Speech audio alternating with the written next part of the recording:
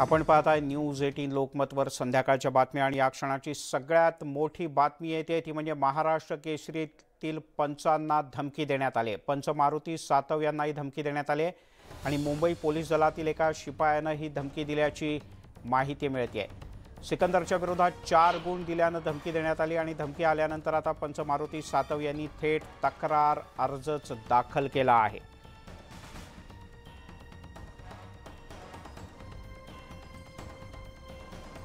आणि थेट जाऊयात स्वतः हे पंच आपल्यासोबत आहेत. मारुती सातव आणि त्यांच्यासोबत आहेत आमचे प्रतिनिधी ज्ञानेश्वर साळोखे. ज्ञानेश्वर.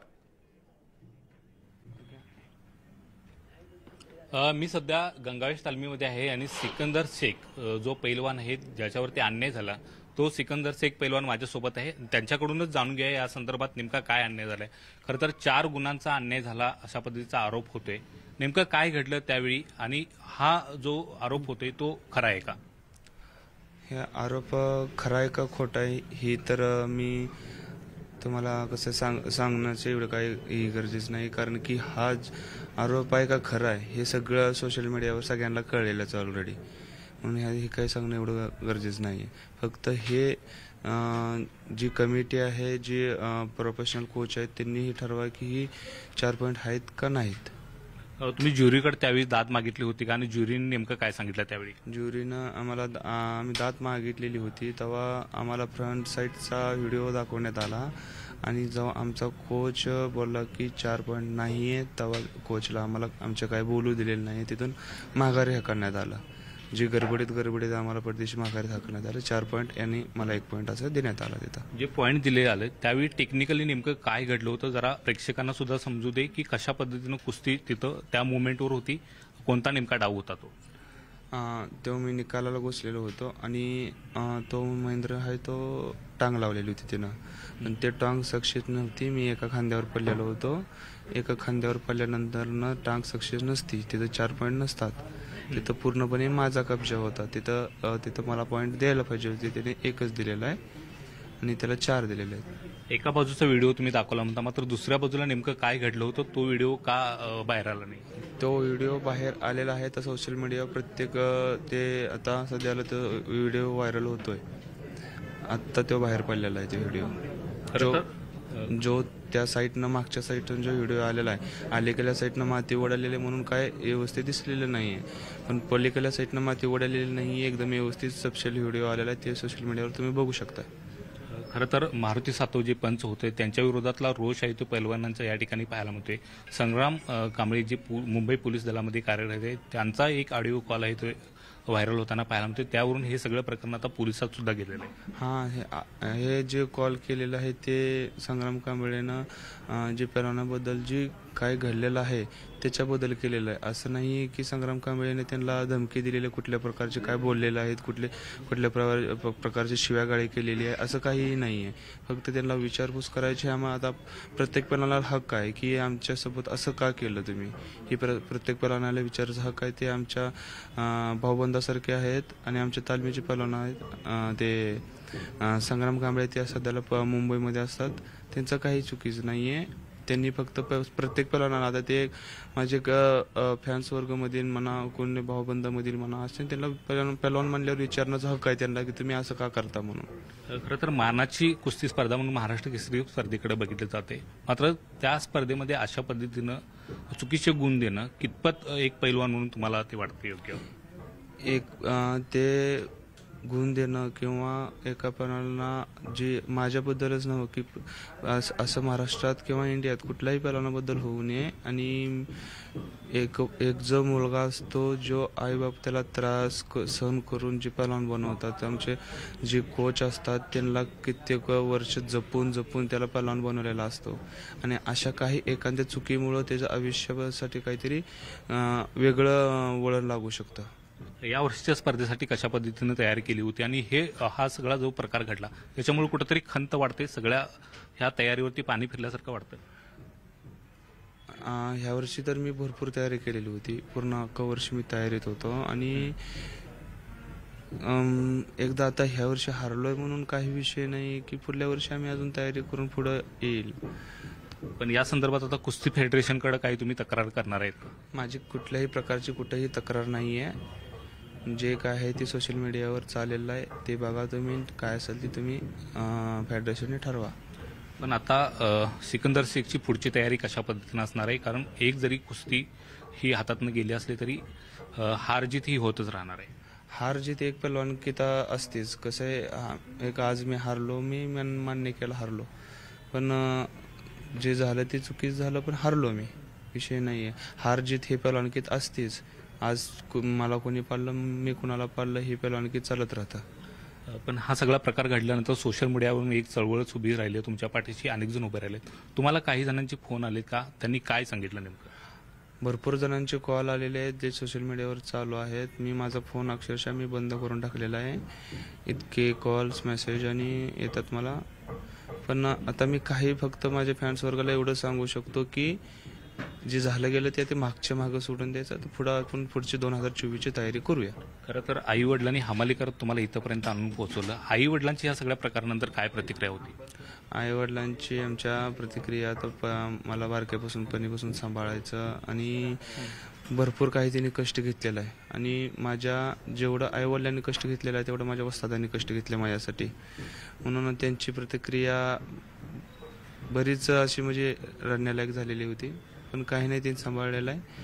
पुढल्या वर्षी अजून मला एक वर्ष वेट करावं लागेल एक वर्ष तयारी करून मला परत नाजून यावं लागेल. नक्कीच. तर सिकंदर शेखनं जे काही घडलं होतं त्या कुस्तीच्या दरम्यान त्याचं नेमकं आहे ते विश्लेषण केलेलं आहे. मात्र एकूणच नाराजी आहे ती स्पष्टपणे आहे सिकंदरच्या चेहऱ्यावरती दिसते. आईवडिलांनी सुद्धा आणि कोचने सुद्धा ती नाराजी व्यक्त करून बोलून व्यक्त केलेली आहे. मात्र दुसऱ्या बाजूला सिकंदर मात्र एका या हार जीतमुळं घाबरलेलं नाही. पुन्हा एकदा नव्या जोमाने तयारीला लागल्याचं स्पष्ट होतंय. धन्यवाद ज्ञानेश्वर तुर्तास या सगळ्या माहितीबद्दल. तिकडे महाराष्ट्र केसरीतल्या कुस्ती स्पर्धेतील पंचांना काय धमकी देण्यात आली? एक ऑडिओ क्लिप सध्या हाती आली आमच्या पाहूयात. हॅलो. हॅलो. हा. हा कोण? मारुती सातो पंच बोलताय काय? हो बोला की. पैलवान संग्राम कांबळे बोलतोय. हा बोला बोला.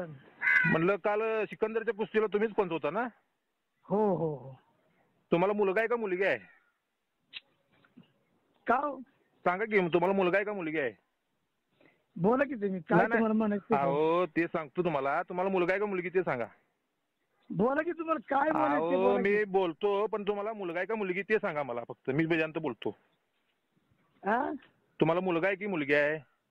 मुलगा आहे. त्या मुलग्याच्या डोक्यावर हात घेऊन शपथ घेऊन सांगा की तुम्ही दिलेलं हा. न्यायदान योग्य आहे होतं का चुकीचं होतं. कांबळे पैलवान वस्तात तुम्ही मी- इतके दिवस ऐका, पंचगिरी मा- करताय. ऐका सांगतो मा- ऐका. आता मा- आमचं ऐकायचं तुम्ही. तुमचं ऐकलं काल बघितलं. निर्णय किती दिला बर. तुम्ही तो हा. निर्णय दिला तो चुकीचा दिला तुम्ही. पहिली गोष्ट दबावाला हा. फळ बळी पडून दिलेला आहे. हे पण सगळ्यांना कोणाच्या तुम्ही दबावाला? मान्य करा. कुणाच्या दबावाला? कुणाच्या बापाला ते घाबरत नाही मी. कुणाच्या बाबाला घाबरताय ते सगळ्यांना बघितलंय जगानं बघितलंय. योग्य अहो, नाही पंच पहिलं- पंचगिरी करायची तर योग्य पद्धतीने केली पाहिजे होती तुम्ही. पण तुम्ही दबावाला बळी पडून तो निर्णय दिला. जिथं दोन पॉईंट कांबळे होतं तिथं चार पॉईंट दिलं तुम्ही.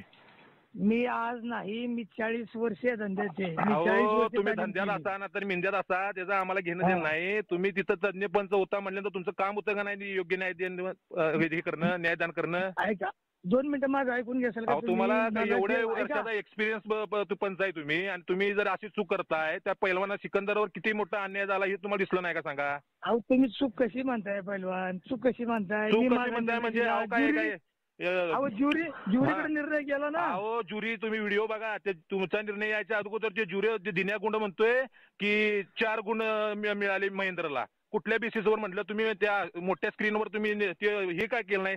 व्यवस्थित चेक का केलं नाही? दुसऱ्या दुसऱ्या मी काय म्हणतोय दुसऱ्या अँगलनं ते व्हिडिओ का बघितला नाही तुम्ही?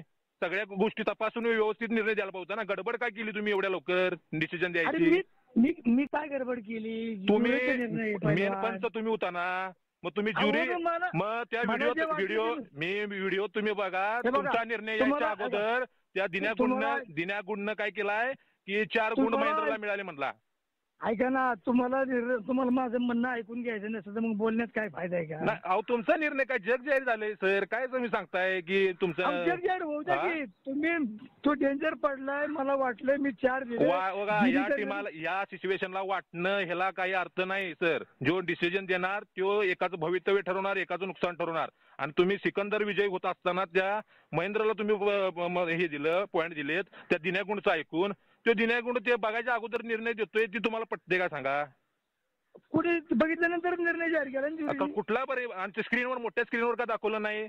परत त्या वेगळ्या अँगलनं का बघितलं नाही? तिथनं या साईडनं मातीचा धुळा उडलेला त्यामुळं अस्पष्ट दिसलं. पण त्या साईडनं क्लिअर दिसलं होतं त्या साईडनं काय चेक केलं नाही सांगा? हे काम हे कोणाचं? काम आहे. हे हे- काम कोणाचं? अहो हे ज्युरीचं काम हा आहे मग ही ज्युरी ज्युरी जर चार पॉईंट दिलं म्हणत्या की चेक करायच्या अगोदर मग ही चुकी तुमच्या तांत्रिक टेमिटीची पंचांची नाही काय?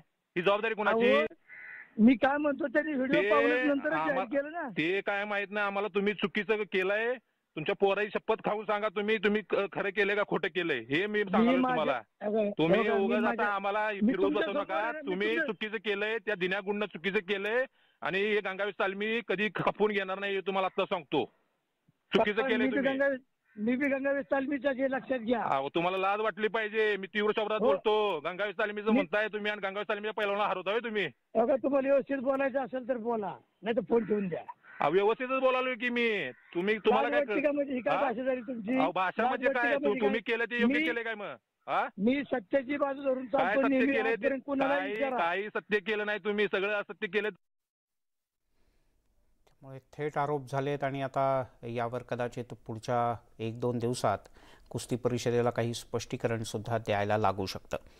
तिकडे पुण्यामध्ये महाराष्ट्र केसरीसाठी लढत झाली. यावेळेला माती विभागातील फायनल कुस्ती मोहोळ गावचा सिकंद सिकंदर शेख विरुद्ध महेंद्र गायकवाड यांच्यात झाली. यामध्ये पंच कमिटीकडून चुकीचा निर्णय देण्यात आल्याचा आरोप आहे. सोशल मीडियावर प्रचंड संताप व्यक्त होतोय आणि यानंतर सिकंदरच्या कुटुंबियांनी आपली खंत बोलून दाखवली. ह्याच पैलवानला नाही कुठल्याही महाराष्ट्रातल्या कुठल्याही पैलवानला खेळायची ताकद आहे त्याची आता सध्याला.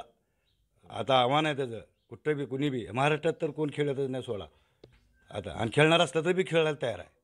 आतासुद्धा एवढी अं, विनंती आमची की आमच्यावर अन्याय हितनं होऊन पुढं. आणि झालाही आता तुम्ही निभरून काढा आमचा अन्याय. असा अन्याय होऊ नये. आम्ही गरीब माणसं आहे. इथनं फाट्याताल मीठ काय तर पाच वर्षाचा होता ते होता त्यानं फाट्यातालमीतनं मग असंच वडील तिला चांगली कसरत द्यायचा मेहनत करायला लावायचे पाठ्य उठवायचं तिच्या महाग आणि आई वडिलांनी बी तिला खूप मेहनत करून घेतली. तिचा पुढं असं वाढत गेला तिनं चांगला सिकंदरचं चार पॉईंट होतं आणि त्याचा एक पॉईंट होता. आणि पुन्हा त्याला एकदम चार पाणी देते एकदम चार पाणी दिलं आणि आमच्या पैलवानला काहीच पाणी नाही. तर आमचा पैलवान दोन पॉईंटां तरीसुद्धा मोहरा आमचा पैलवान आणि जिंकलेला आहे. आणि त्याला निर्णय देऊन कोच आला तर कोचला बी बाहेर काढून आमच्यावर अत्याचार झालेला आहे. तर तुम्ही ह्याचं न्याय करावं कोल्हापूरच्या गंगावेस तालमीचाच सिकंदर शेख माऊली जमदाडे प्रकाश बनकर माऊली जमदाडे आणि सिकंदर शेख याची तर पहिल्याच लॉट्समध्ये कुस्ती पाडली गेली. मग आम्हाला संशय आहे की हे लॉट्स पाडत असताना देखील या ठिकाणी पार्सलिटी झालेली आहे. आणि लॉट्स हे चुकीच्या पद्धतीनं पाडलेले आहेत. दरम्यान महाराष्ट्र केसरी स्पर्धेचे पंच मारुती सातव यांना मुंबई पोलीस दलातील शिपाई संग्राम कांबळे यांना फोनवरून धमकी दिली. आहे. विशेष म्हणजे संग्राम कांबळे यांचा पिस्तूलमध्ये गोळ्या भरतानाचा रील केलेला व्हिडिओ सुद्धा समोर आला आहे एका पोलिसानं पिस्तूलमध्ये गोळ्या भरतानाचं रील बनवणं आणि ते व्हायरल होणं कितपत योग्य आहे असा प्रश्नही विचारला जातोय. आपण थेट जाऊयात पुण्याला. वैभव सोनवणे आपले प्रतिनिधी आपल्यासोबत आहेत. वैभव या सगळ्या रीलकडे कसं पाहिलं पाहिजे किंवा काय शक्यता तुला दिसत आहेत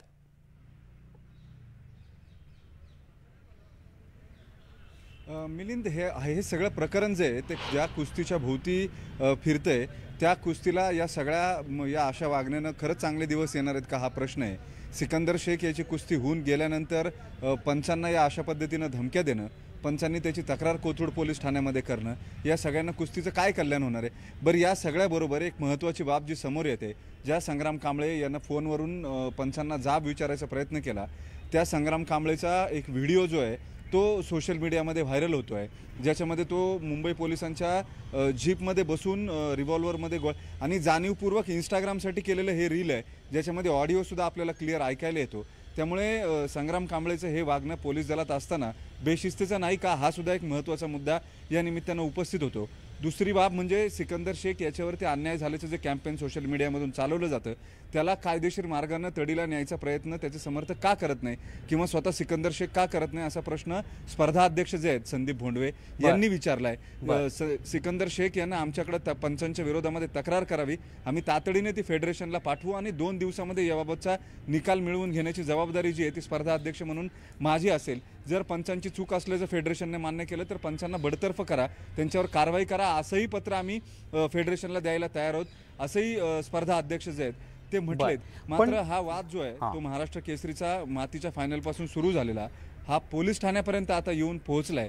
यानं खरंच कुस्तीचं काही कल्याण वैभव? हे खरंच वाईट आहे की हा वाद थेट पोलीस स्थानकापर्यंत येऊन पोहोचला. अशा प्रकारचे बंदुकीमध्ये गोळ्या भरतांचे व्हिडिओ आता व्हायरल होत आहेत. ऑडिओ क्लिप तर सगळीकडे व्हायरल झालीच आहे. पण मुळात पंच त्याचे प्रशिक्षक किंवा त्याच्या घरचे कोणीही आत्तापर्यंत या विषयात तक्रार करायला का पुढे येत नाहीत किंवा तक्रार करायला का तयार नाहीत हा सुद्धा तेवढाच प्रश्न आहे. मी तुझ्याकडे येतो पुन्हा पण आपण एकदा नीट तो व्हिडिओ बघूयात. की ज्या व्हिडिओकडे धमकी म्हणून पाहिलं पाहिजे इशारा म्हणून पाहिलं पाहिजे किंवा पोलीस ते कशा पद्धतीने घेतील हे महत्त्वाचं आहे. आपण तो व्हिडिओ पाहूया.